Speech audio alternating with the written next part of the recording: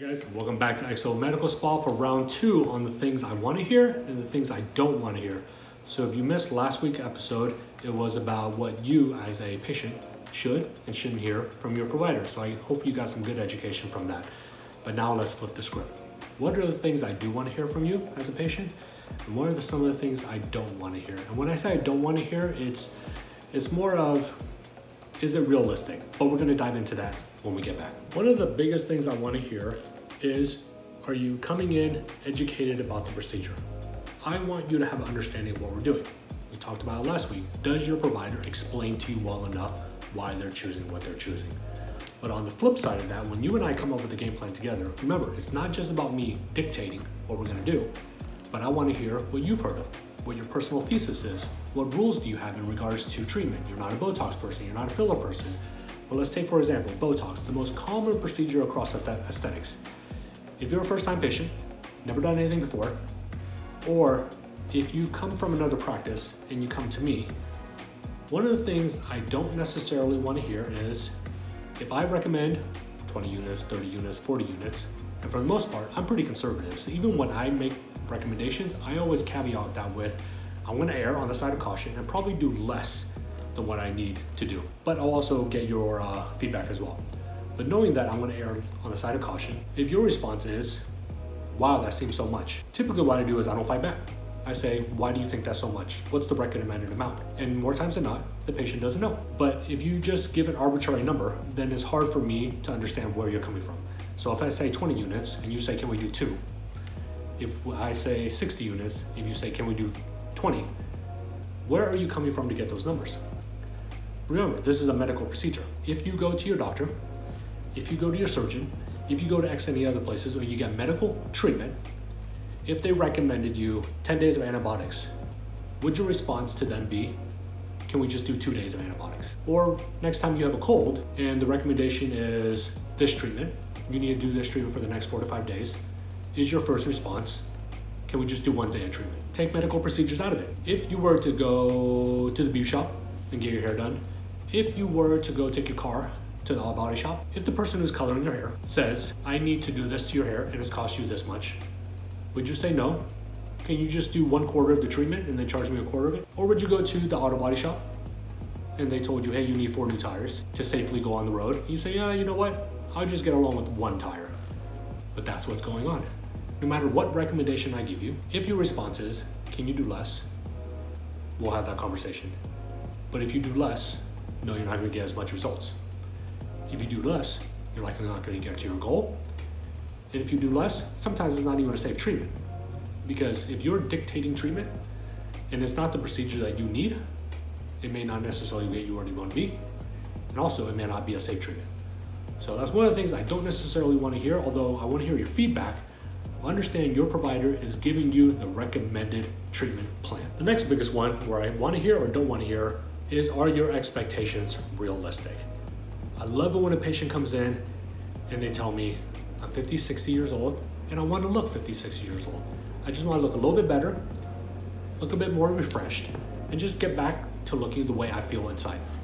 I love those statements because it gives me a clear path on what you want to do, and it also gives me a clear path that you are honest with yourself and you have realistic expectations. We talked about this previously. If you come in to me and you've been a smoker your whole life, you've nothing but sunbathed your whole life, and the only skincare you know is the sweat that you perspire on a hot day, then you've gone through your whole life without taking care of yourself, and then you have that expectation that one syringe of filler is gonna fix 60 years of skin damage and not taking care of yourself. You can do all the lasers in the world, you can do all the Botox in the world, you can do all the fillers in the world, but if you don't have real expect, realistic expectations that you're gonna look your age appropriateness, then likely you and I aren't gonna be a good fit together. And this also comes along with honesty. When we come up with a game plan together, whether it's 20 units of Botox, whether it's a couple syringes of filler, and from the previous conversation, and you dictate and you say, hey, no, I'm not gonna do that much. I'm only gonna do one syringe, even though you recommended three syringes.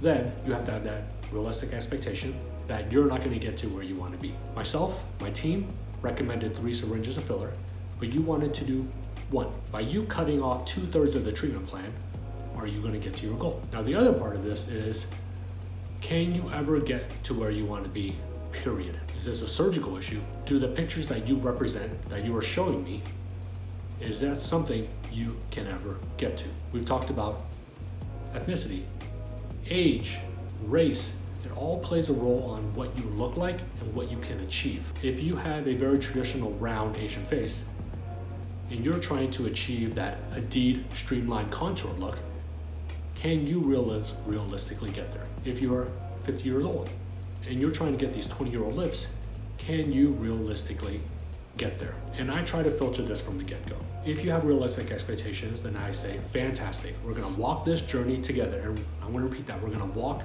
this journey together because we're not gonna turn back the hands of time with one treatment with one Botox, with one fillers, with one lasers. If you're willing to make that journey to get to a better place, then you are a great candidate for treatment. But if you say, I'm on a timeline, I'm on a budget, and I have these 30 years of youthfulness expectations, then we're likely not gonna get there. And more times than not, I'll say, I'm not the right fit for you, and probably we can't proceed with treatment. Whether that upsets people or not, it's hard to say, but I'd rather be honest with someone than previous episode, what you don't want to hear a perfect provider is absolutely we can take care of that for you. Because if I'm untruthful in regards to what we can get to, then you're going to be unhappy regardless. Now, this third one may seem a little bit off, but I want you to be completely honest with me. Weird concept, right? You're going in a medical procedure, but yet you choose to lie. I've had so many times where patients lie about their age, lie about their history, and lie about even just getting treatment. When it's, oh, I don't want to say very blatant, but it's very blatant. Their age is about 10 to 20 years off. They joke around me and then finally they admit that they're older than what they are. They've had treatments in the past or any other number of lies. Age is a huge part of it, but the second one is treatments in the past. Certain treatments don't play well together why a patient chooses to omit or why a patient chooses to lie. I would love to hear that in the comments below. Why do you think patients lie or omit their treatments? But let's take, for example, biostimulators. Sculptra, Bellafill, and Radiesse all stimulate collagen growth one way or another. If you take those three fillers and you combine that with other treatments, such as a traditional dermal filler, uh, Juvederm, Restylane, or you stack on top of that PDO threads, if you have a biostimulator stacked on with something else, that biostimulator may overstimulate that next product that's there.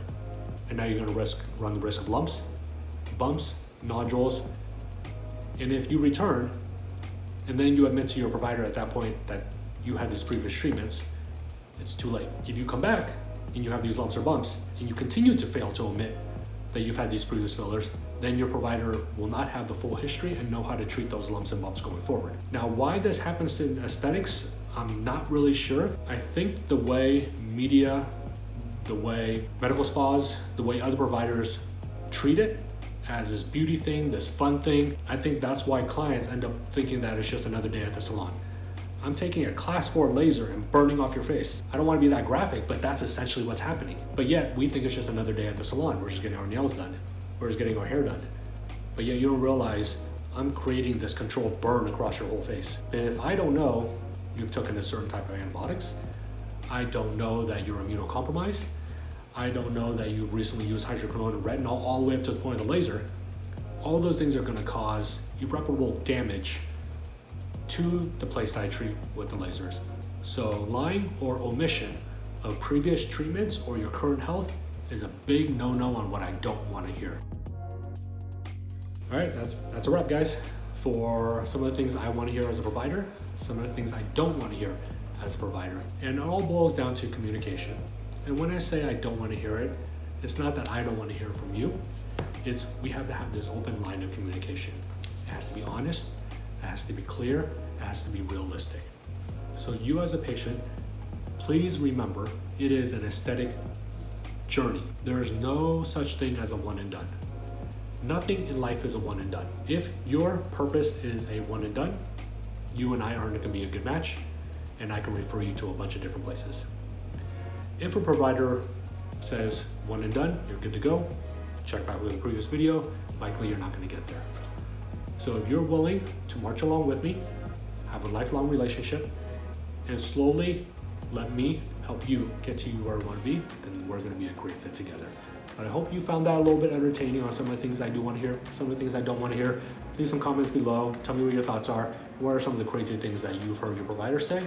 Or maybe as you as a patient, what are some of the things that you regret you said it? So I hope you enjoyed this. Give it a like, give it a thumbs up, share it with the people you feel will be educated about this. I'll see you guys on the next episode.